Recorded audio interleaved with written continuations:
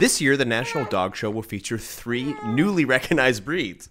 One is the Russian Toy, also known as a vodka chihuahua. The next is a Hungarian sheep herding dog called a Mudi. And finally, the Bracco Italiano, which kind of looks like someone took a German short haired pointer and just kind of melted it a little.